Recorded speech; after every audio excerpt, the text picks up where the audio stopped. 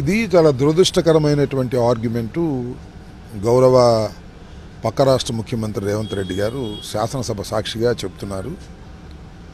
అది కరెక్ట్ కాదని ఈ సందర్భంగా నేను చెప్పదలుచుకున్నాను. ఆయన ఏమంటాడంటే నాగార్జున సాగర్ అంతా కూడా వారి ఆధీనంలో ఉంది అంటున్నారు. అది తప్పు. నాగార్జున సాగర్ రివర్ మధ్య నుంచి లెక్కేస్తే అటు సగం ఇటు సగం ఉంటుంది భూభాగాలు. నాగార్జున సాగర్ కానీ శ్రీశైలం కానీ కృష్ణా నది మీద ఉన్నటువంటి ఈ రెండు ప్రాజెక్ట్స్ కూడా ఉమ్మడి ప్రాజెక్టులు. రాష్ట్రం విడిపోకముందు అది వేరే అంశం ఒకే ప్రభుత్వం చేతుల్లో ఉంటుంది.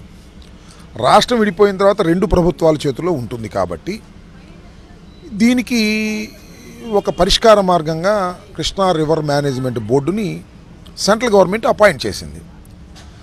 దేనిలో అపాయింట్ చేసింది? విభజన చట్టంలో పొందుపరిచారు. ఒక సెక్షన్ ఇచ్చి ఆ సెక్షన్లో పొందుపరిచారు. నాకు చాలా ఆశ్చర్యమైన అంశం ఏంటంటే నిన్న ఈ కృష్ణా రివర్ మేనేజ్మెంట్ బోర్డుకి మేము నాగార్జున సాగర్ని మేము అప్పజెప్పమని ఒక రెజల్యూషన్ పాస్ చేశారు. మరి ఆ రెజల్యూషన్ ఎందుకు పాస్ చేశారో? అది ఎంతవరకు ధర్మమో నాకు అర్థం కాలేదు. విభజన చట్టాన్ని మొత్తాన్ని అమలు చేసుకుని దానిలో ఒక సెక్షన్ని మేము అంగీకరించమంటే ఎలా కుదురుతుంది? రేపు ఆంధ్రప్రదేశ్ శాసనసభ పెట్టి మేము అసలు విభజన చట్టాన్ని అంగీకరించడం అంటే కుదురుతుందా? సో తెలంగాణలో కాంగ్రెస్ పార్టీకి లేదా టీఆర్ఎస్ పార్టీకి విభేదాలు ఉంటే ఉండొచ్చు. వారు వారు ఏదైనా వివాదాలు పడితే పడవచ్చు తప్ప ఆంధ్రప్రదేశ్ వంకగా ఆంధ్రప్రదేశ్ నీటి వంకగా వివాదాలు సృష్టించుకుని వాళ్ళు మీద పడితే పడమని నాకు అభ్యంతరం లేదు. కానీ ఒకటైతే వాస్తవం కృష్ణా జలాలు పంపకాలు ఇప్పటివి కావు. బచావత్ కమిషన్ కృష్ణా జలాలను పంపిణీ చేసింది. ఉభయ రాష్ట్రాలు అంటే అప్పుడు ఉమ్మడి రాష్ట్రానికి ఎయిట్ హండ్రెడ్ లెవెన్ ఇచ్చారు. తెలంగాణకి టూ నైంటీ నైన్ ఇచ్చారు. ఫైవ్ ట్వెల్వ్ ఆంధ్రప్రదేశ్కి రాయలసీమకి ఇచ్చారు. ఇది బచావత్ కమిషన్ ఇచ్చింది. దీన్ని ఎవడం డిస్ప్యూట్ చేసే హక్కు ఎవరికి లేదు.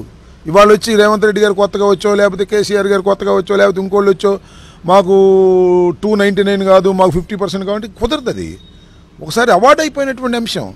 ఈ అవార్డు అయిపోయినటువంటి అంశాన్ని వివాదంలోకి తీసుకురావడం ఒకటి. రెండవది విభజన చట్టంలో ఉన్న అంశాలను మేము అంగీకరించమని అనేది ఇది మొండి వాదనలు. నేను తెలంగాణ ప్రజలకి తెలంగాణ మేధావులకి నేను మనవి చేస్తున్నా మనం సోదరులం తెలుగు మాట్లాడుకునేటటువంటి వారం అదృష్టమో దురదృష్టమో విడిపోయాం. ఎవరి ప్రభుత్వాలు వాళ్ళు చేసుకుంటున్నాం. నదీ తీరాల దగ్గర వివాదాలు ఉన్నప్పుడు పరిష్కరించుకోవాల్సినటువంటి బాధ్యత మనకుంటుంది. దానికి కృష్ణా రివర్ మేనేజ్మెంట్ బోర్డు అదేవిధంగా గోదావరి రివర్ మేనేజ్మెంట్ బోర్డ్స్ని చట్టం ఇచ్చింది. వాటిని గౌరవించాలి. వాటికి మనం ఇవి హ్యాండ్ ఓవర్ చేయాలి. అంతే తప్ప మన ఇష్టానుసారంగా చేయటం సమంజసం కాదు. మా ఇష్టానుసారం మేము చేసుకోలేము మీ ఇష్టానుసారం మీరు చేసుకోలేరు. కాబట్టి మనం విభజన చట్టంలో ఏ విధంగా ఉందో ఆ విధంగా నడుచుకోవాల్సినటువంటి బాధ్యత ఉందని మేము భావిస్తున్నాం. తెలంగాణకి కేటాయించిన నీటిలో ఒక్క నీటి బొట్టు కూడా మాకు అవసరం లేదు. మా రాయలసీమ చాలా కరువు ప్రాంతం.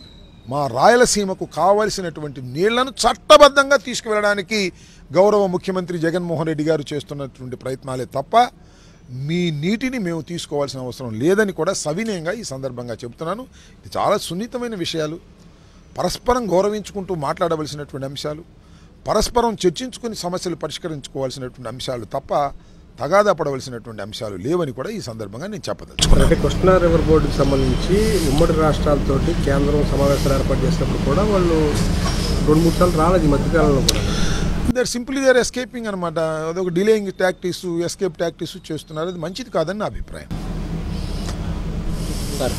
ఈ హైదరాబాద్ ఉమ్మడి రాజధానికి సంబంధించి మరొక ఐదేళ్ళు పొడిగించాలని చెప్పి ప్రభుత్వం నుంచి వైసీపీ నుంచి డిమాండ్ వస్తుంది సార్. దాన్ని ఎలా చూస్తారు? ఇంకా వైవి సుబ్బారెడ్డి గారు చెప్పారని విన్నాను నేను. మరి బహుశా మరి ముఖ్యమంత్రి గారు వాళ్ళు నిర్ణయం తీసుకున్నారేమో. మరి ఆ విషయం నాకు పూర్తిగా అవగాహన లేదు. విశాఖ వెళ్ళే వరకు కూడా పొడిగించాలి. మేము విశాఖపట్నం ఓకే రిక్వెస్ట్ చేస్తే చేసి ఉండొచ్చు. అది కేంద్ర ప్రభుత్వం తీసుకోవాల్సినటువంటి నిర్ణయం. ఒకసారి మన రాష్ట్రాన్ని విభజించినప్పుడు ఉమ్మడి రాష్ట్రంగా ఆంధ్రప్రదేశ్కి ఉమ్మడి రాష్ట్రంగా ఇప్పటి వరకు కూడా హైదరాబాద్ కొనసా ఉమ్మడి ఉమ్మడి రాజధానిగా హైదరాబాద్ కొనసాగుతుంది.